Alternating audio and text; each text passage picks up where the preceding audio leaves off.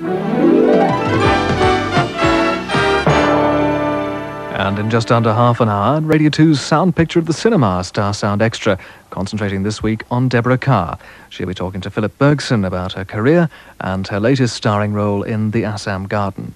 Nick Jackson invites you to take a seat in the stalls for Star Sound Extra at half past ten. But now it's two minutes past ten.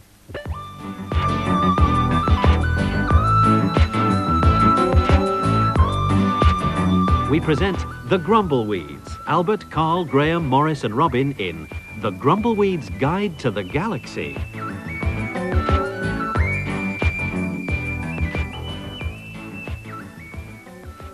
Now, come on, everybody. We must be able to get this one. Seven down. Fathead. Five letters ending in a T. Fathead. Now, come on, Wilfred. This calls for a trip to the old masterminds. Yeah, yeah, I'm thinking. Fathead. Five letters ending in a T. Yeah, got it. Dining room table. you big stripe-bound Grimshaw. Where do you get that from? Furniture shop. I made a joke, did it? You'll get it in a minute, pal. I'll knock your rotten teeth out.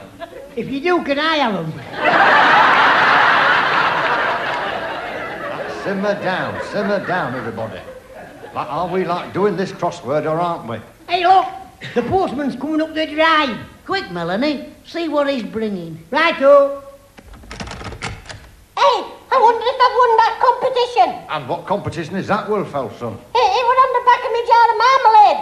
You had to put in order your favourite flavours, and then you had to make up a slogan for Scroggins Marmalade. Tell us the slogan that you invented, old son. Yeah, it was it's by far the best. It's much better than the rest. It's... Go on, Wilfred. It's what? That's it. That's my slogan. I don't understand. Well, it had to be no more than 12 words. well done, Wilfred. Hey, this book's an important letter. I had to sign for it.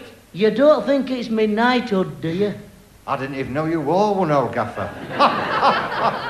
Little joke there, right? Oh, the rotten letter. Okay, dokie. It's from a firm of solicitors. We're being sued. Oh, I like that. With dumplings. sued, you bonehead, not stewed. Now then, now then, this is a bit like double disastrous. God bless my soul, dearie Lord. Wow. Read the letter, Uncle Rubbish. Righto. It's from Strange, Strange, Weird and Strange Solicitors, to whom it may concern. On behalf of our client, Sid Squeak, newsagent of 67 Silver Street, I hereby refer to the aforementioned, hereafter referred to as the claimant. Hitherto acting on behalf of the said correspondent, herein and hereby acknowledged as the plaintiff, referred to hereafter as the above mentioned. Do hereby state that unless suitable settlement can be made over the conveyancing of the aforementioned, it leaves us with no alternative than to comply with Clause 4 Paragraph 2, subsection 3 of the Highways and Byways Act of 1647, unless by deed of covenant at sunrise a week on Wednesday, the said claimant issues a writ of habeas corpus as referred to previously by the aforementioned. We remain yours simply, strange, strange, weird and strange.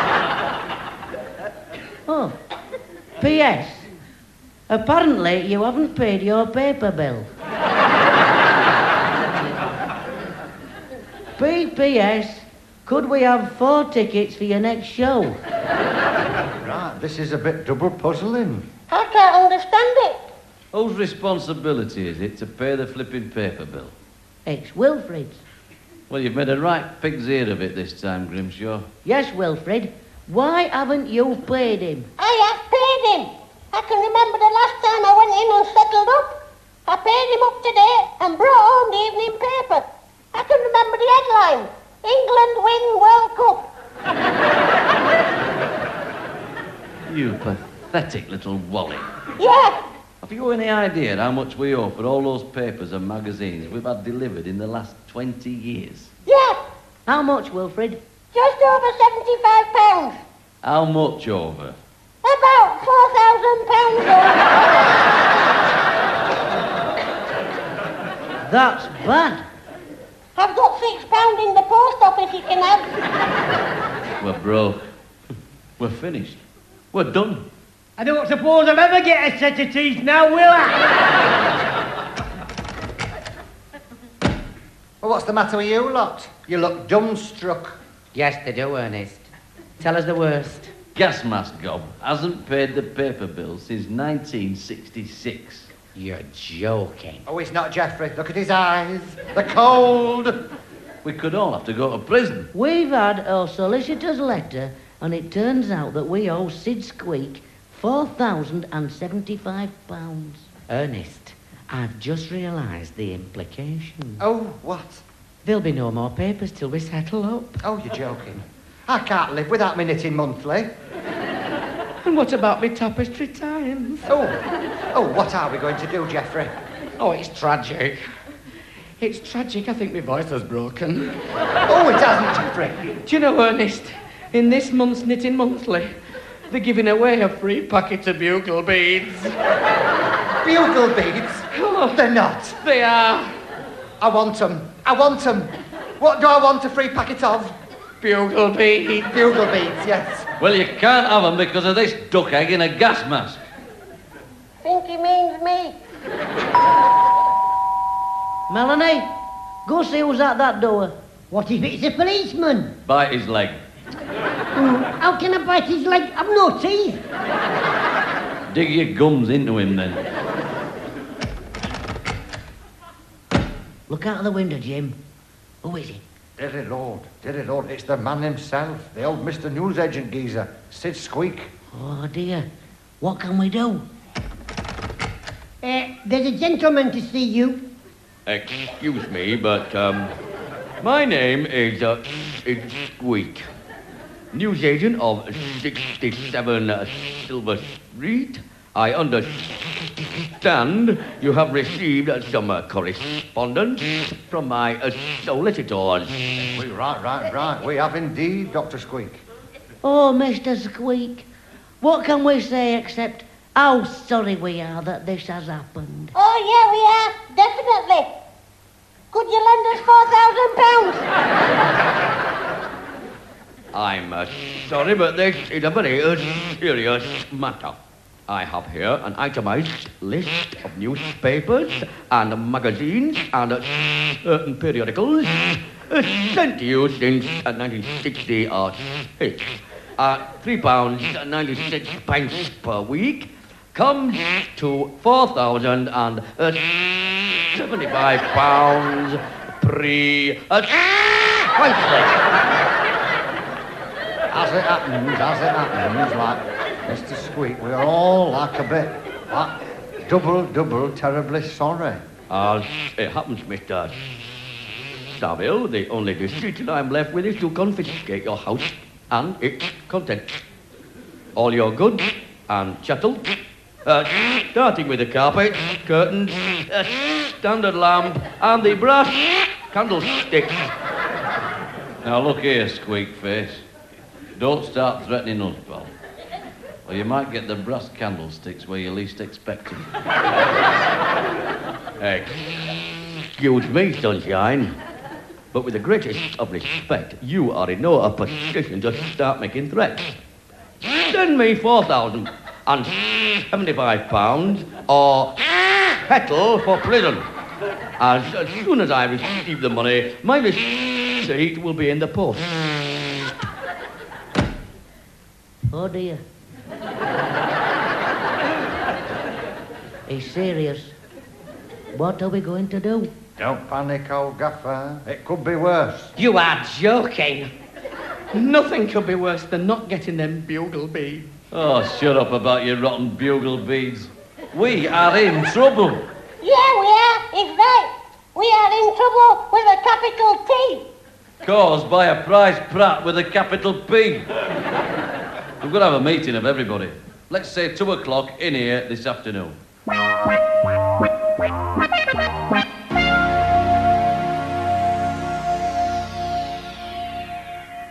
Right. Are we all here?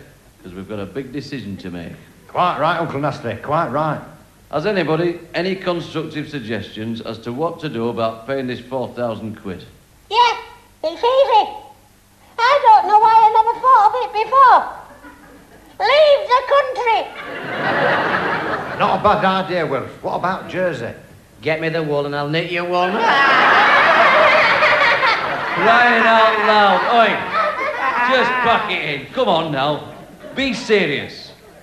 Actually, Uncle Nasty, Wilf's idea isn't all that silly. There was an advert in the paper the other day for a group of people who were prepared to take part in an experiment. But it meant leaving the country for six months. Now, as it happens, Uncle Rubbish, that sounds exactly what we're looking for. Where was it in? Australia? No, in space. Oh, bags me a silver army space suit. oh, it'll match your new hairdo. I think that's a fantastic idea. Right, how do you feel about it, Federal girl? Don't expect me to come with you. I can't cope down here, so I'd have no chance up there. Oh, come on, ma'am, you'd like it, wouldn't you, Dad? I don't know! Oh, don't you start. Shut your gob. Right, calm down, Feeder, calm down. Let's ask Fred Fibber what he thinks. Not new to me about going into space, pal. I went to moon long before them Americans did. Ah, belt up, Um, Fibber. listen, I'm telling you, it was me who invented that famous catchphrase. One small step for man, hell of a big jump for our Fred. you can count me in, pal. Right, right, right. That is settled then. Leave it to me, Jimbo. I'll ring up this space centre job place and I'll put our names down. Make sure we don't go on a Monday, 'cause that's midnight for aerobic. Oh, oh yes. And and try and keep off Thursday afternoons. I've got my hair appointment and my sunbed session. Look, pal, there'll be no sunbed sessions in prison. That's where we'll all be if we don't do a bunk. Uncle Nasty's put it in a nutshell. I'll go ring him up and I'll come straight back.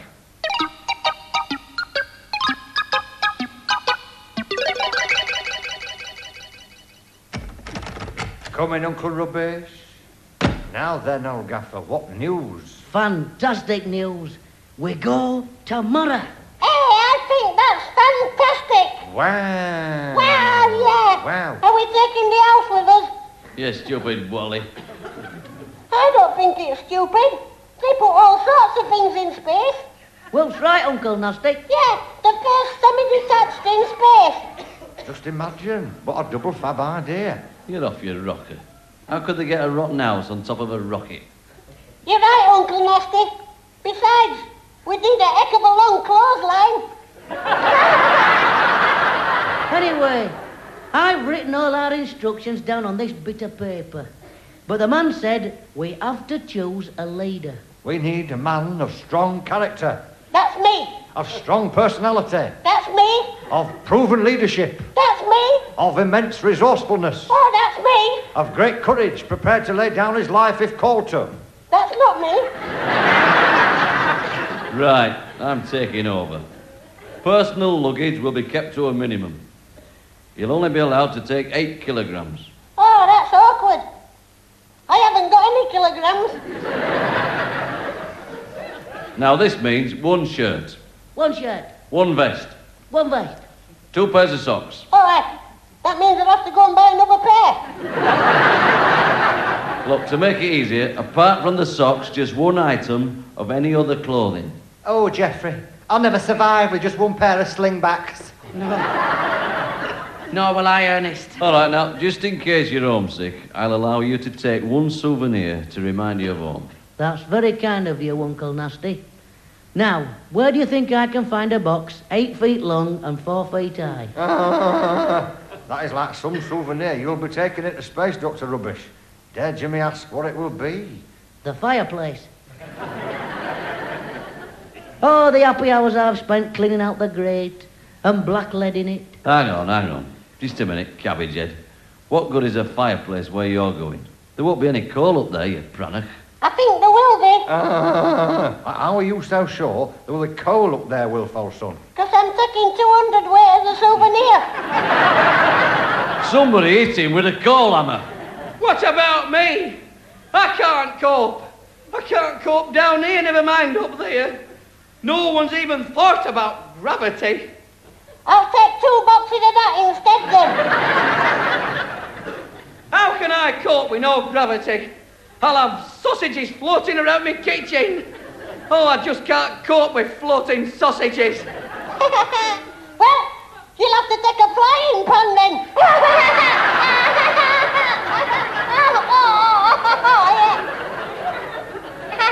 Then you can shut your gobbin all, frog face. Oh, I can't cope with this madhouse. I just can't go.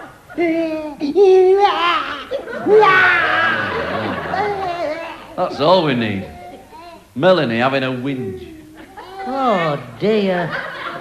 Wait, what's wrong, Melanie?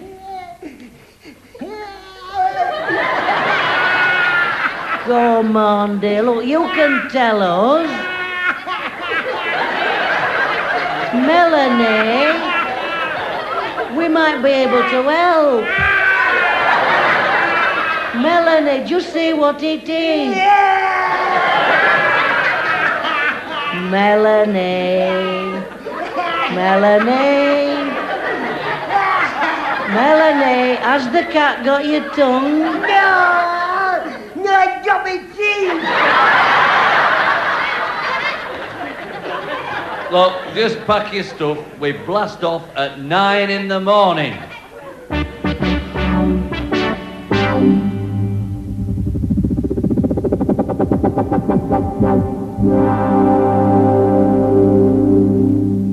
Right.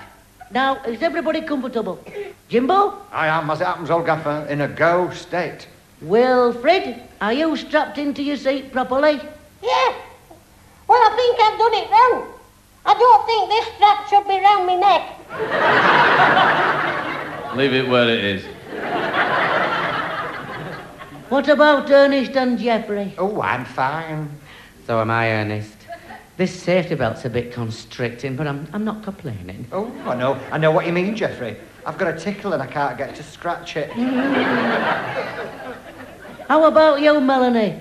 Could you do with a shield? No! I could do with a gum shield. Right, hold the phone, everybody, because I can see Fred Fibber not strapped into his seat. Don't worry about me, pal. Number of space trips I've done, gravity don't affect me. You get right up my nose, you do, Fibber. Are you all right, Frida? You look a bit, like, worried. Oh, don't you start. I think I've left some cabbage on a low light. Adolf, did you remember to cancel the milk? I don't know. Do you wonder I'm not mental? Why did we have to bring him with us? Right, calm down, calm down, because, like, according to what's on this computer type screen, we blast off in 30 seconds. Oh, no. Oh, dear. Oh, heck. What's the trouble, Wilfred? I want to go to the toilet. Try and control yourself, Austin. We've got 20 seconds to go. Are we all in a go state? Well, I certainly am. 10, 9, 8, 7, 6, I can't even cross my legs. Three, two, one, We're off.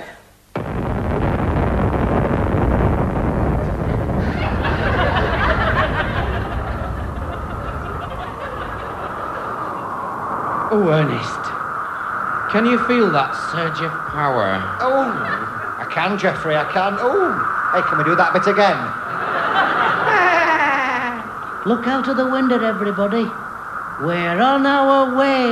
We are indeed, old gaffer. And where we're going, nobody knows. I know where I want to go. What a moment to cherish. Do you know, I feel quite drained. I wish I did. Space, here we come.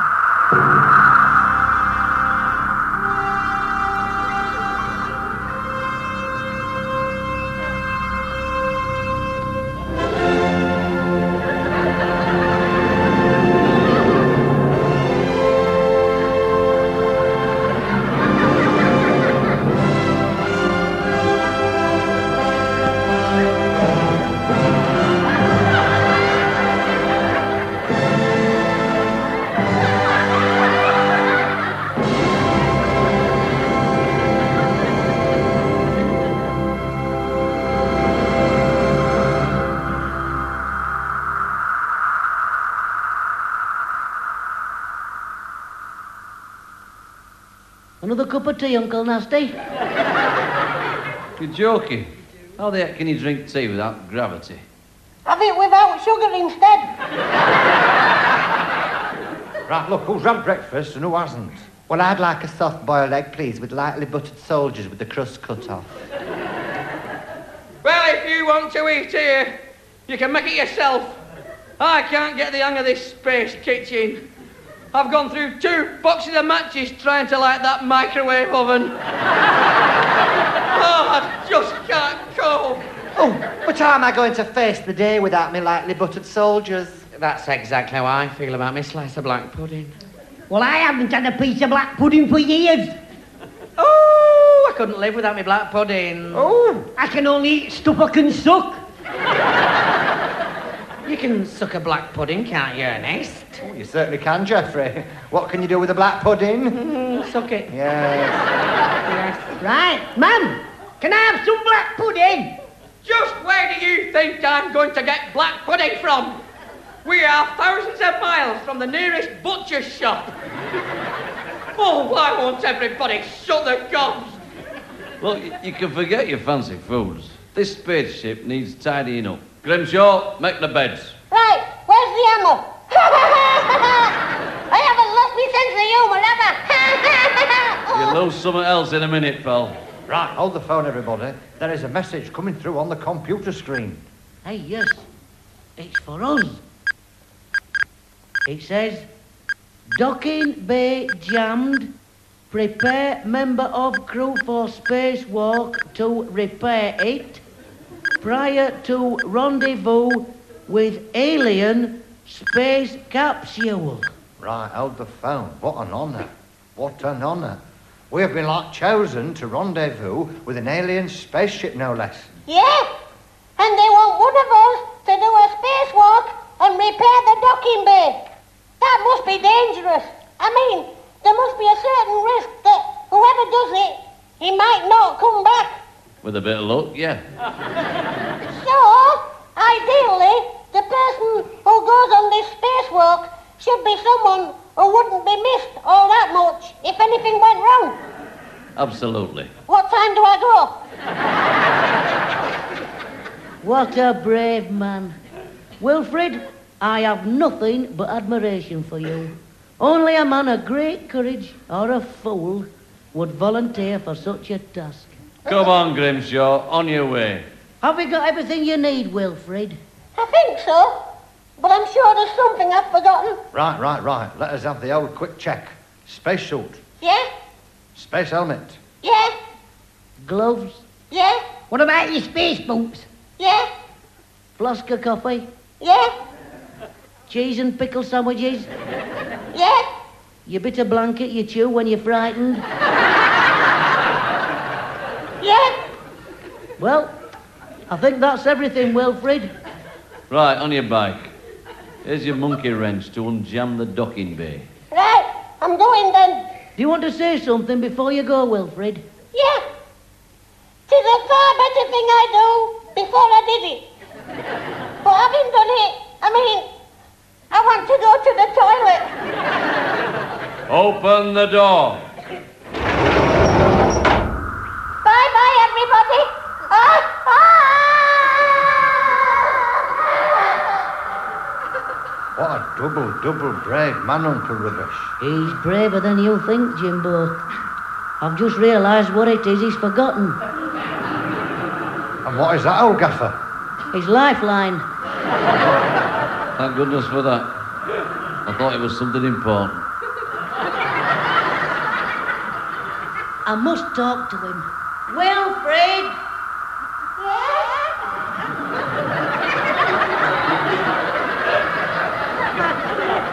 You're out of control. Orbiting the Earth at 22,000 miles an hour.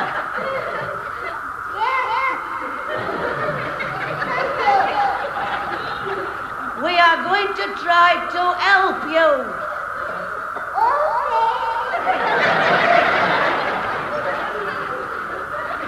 Do you have any major problem?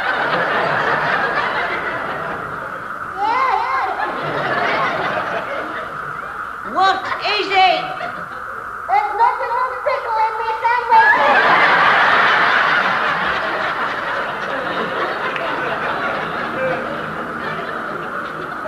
Found everything, Uncle Rubbish. Do you see what I see? It's another space capsule. Absolutely. It must be the one we're supposed to rendezvous with. Hey, look! There's a door open, and a spaceman's coming out. He's rescuing Wilfred. The Wally. Look! He's taking him back into his spaceship. Quick, Melanie, steer our capsule over to him. Righto. Left a bit. Up a bit. Right a bit. Right, we're nearly alongside. Slow down, Melanie. Hold it steady. Just hold it so our doorway is opposite his. That is it. Fantastic. Well done, old girl. Thank you, Mr. Spaceman. He can't hear you, old gaffer. He's got his helmet on. Hey, I think he wants to come aboard me, Wilfred. He saved me life. He saved me life. Jump across, Wilfred, hey, and bring him with you. Right, right. Catch them, Uncle Rubbish. Catch them. Shut the door, Melanie. Okay. I'm alive. I'm still alive. Thanks to this wonderful spaceman from an alien planet. Right, help him off with his helmet, Melanie, so we can thank him personally for saving Wilfred's life. Okay. I do not know like whether you understand our language, Dr. Spaceman, but actually, we owe you a debt of gratitude. Actually, you owe me over £4,000 for newspapers. Plus the cost of a spaceship, and I'm staying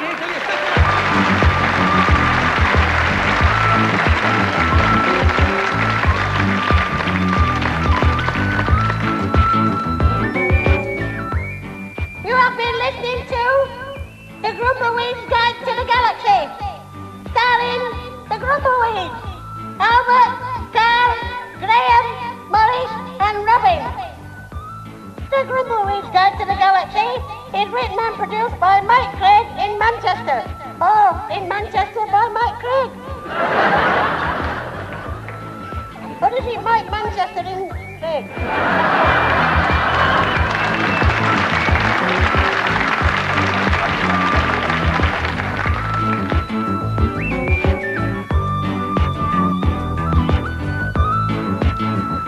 And the Grumbleweeds are currently appearing at the Princess Theatre in Torquay.